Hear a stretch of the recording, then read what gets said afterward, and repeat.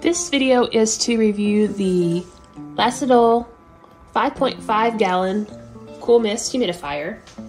Um, I got it because my daughter has seasonal allergies. Um, and it's great for her. I keep it in her room and keep her bed propped up.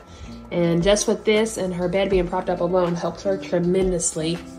Um, you can see the flow on it is great. It's got multiple attachments. This one has like a little um, kind of like a full direct flow attachment. And then it also comes with this one, which you can kind of put it in like a bigger room and kind of direct your flow out everywhere. It's got an easy display, which is touchscreen. Turn your humidity up and down in the level of your mist that's coming out.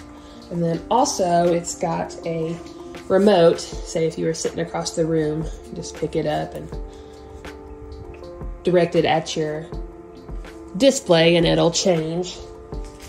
Um, it's got a 5.5 gallon water tank, which is great, so you don't have to fill it constantly. It's on um, little metal wheels, rolls around real easy. Um, and you can top fill it, which is great because some cool mist humidifiers don't even have that ability. So you just pour your water in through these little grates there and it fills up your tank that way. So far, we've really enjoyed it.